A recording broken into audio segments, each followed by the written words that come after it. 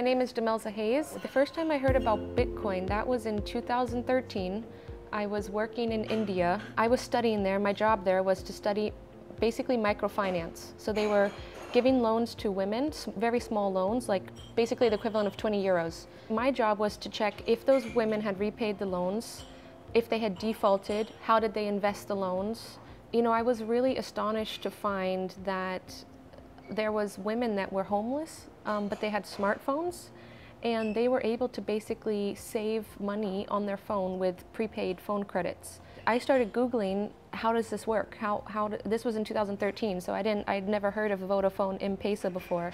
Then I found out about Bitcoin online while I was researching microfinance, and at that time, Bitcoin was still being touted as a way to bank the world's unbanked, you know, and I think now we see that that's a little bit different because we have high transaction fees and probably it's not designed um, well to be used to buy coffee, but now we have competitors coming in that are trying to meet, meet that niche that niche market that has uh, huge demand, you know. So I think, um, yeah, that's basically how I got interested in Bitcoin originally, just how it could uh, provide financial services to people in, in need.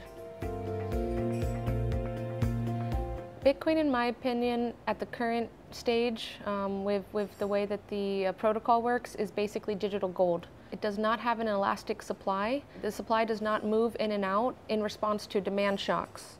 So if all of a sudden the media starts reporting on Bitcoin and then everybody around uh, you know, Vienna starts buying Bitcoin, well then the supply of Bitcoin is still stable, you know, it's fixed. And so that new demand that's rushing in to buy Bitcoin pushes the price up.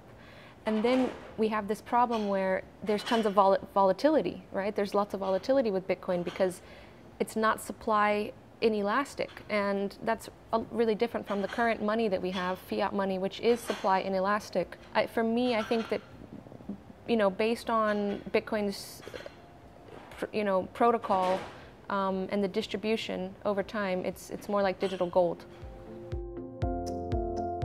I think my sentiment changed a little bit because when I first heard about Bitcoin, I was so excited um, I actually did invest all of my money, all of my savings in Bitcoin. If I had invested in 2013, it would have been okay, but I, of course, didn't invest the first second I saw it. I invested about a year later when it was coming down off the off the 1400 peak. So I invested in it when it was 1600 in like September 2014. And then of course the price dropped by 50% about three months later. So within three months I'd lost like half of my savings. And then I was like, okay, I should probably research this and see if I just invested in a Ponzi scheme or what did I just invest in. And that's when I started actually every day learning about this technology. And uh, yeah, and, and over time, my views did change. I mean, now I have a much more um, wider view. I'm not so like dogmatic about Bitcoin. I'm not like, I'm not saying, oh, the block size has to be this way or, oh, the developers, I'm, I'm only going to support a technology that's with this developer behind it. And, and I'm actually just looking more at like the long-term economic sustainability of these different models. Like, is is this one, you know, is the fee structure in Bitcoin really going to be the one that can survive in the long term?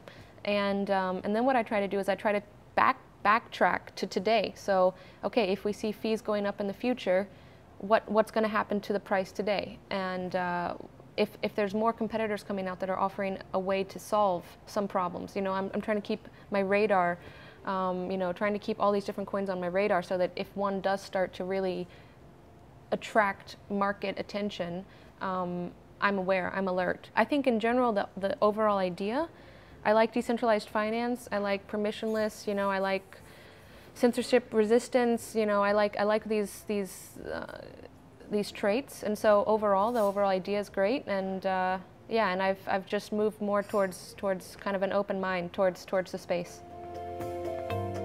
Um, so the Crypto Research Report is a report that I write along with Mark Valek um, at Incrementum AG in Liechtenstein. It's um, basically the sister report to In Gold We Trust. So they've been producing a report on gold for the past 12 years.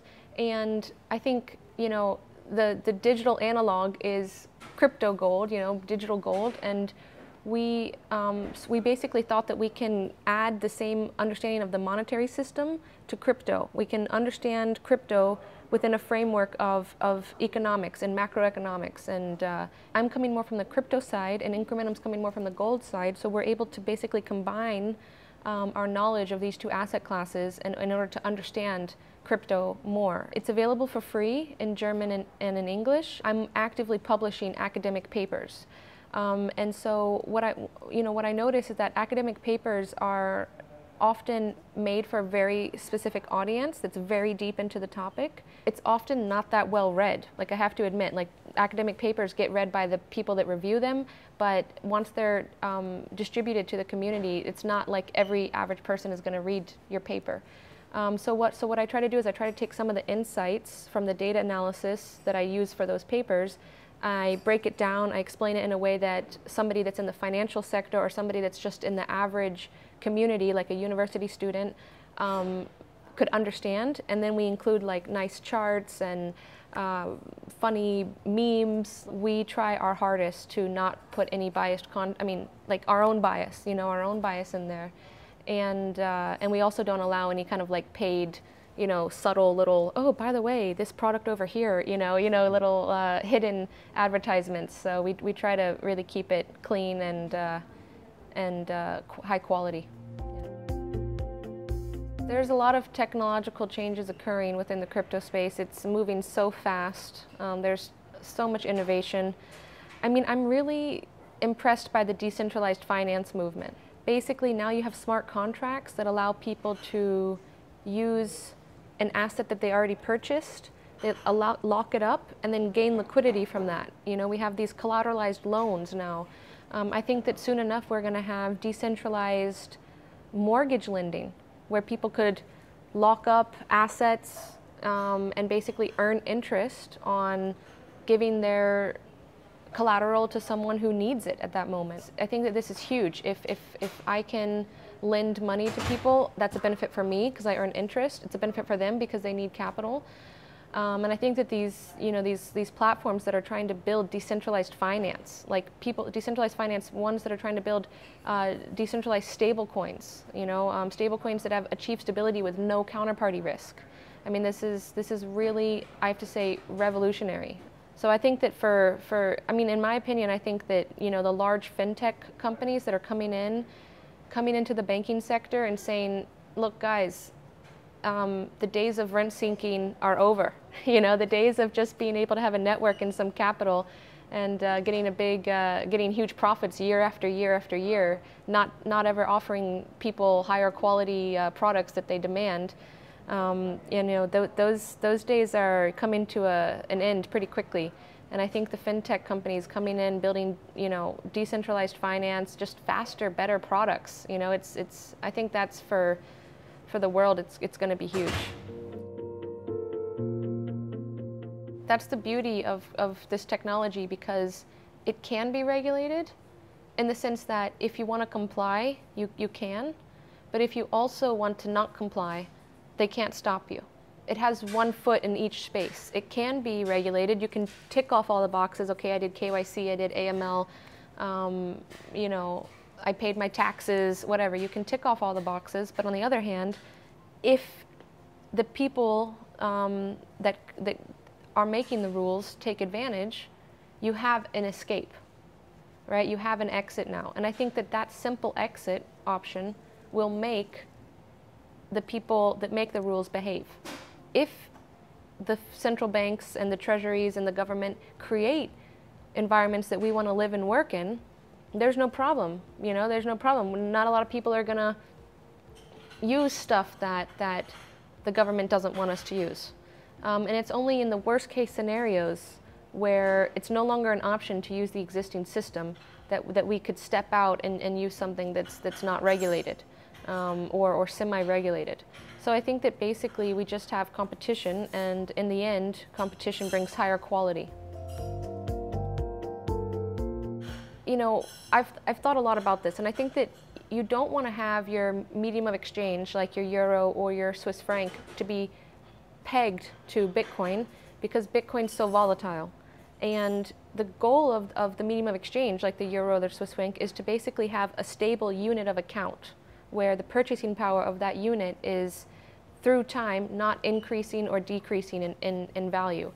Um, and that really helps businesses, that helps producers um, to basically understand what consumer demand is based on prices. So prices are like these surrogates of information that transmit information about consumer demand to the producers so that if the price goes up of milk, the, the producer can say, I guess that means that the demand for milk is going up, so I should buy another cow, you know, and then they, they go back one step and they buy another cow and they bid up the resources that are required to produce another liter of milk.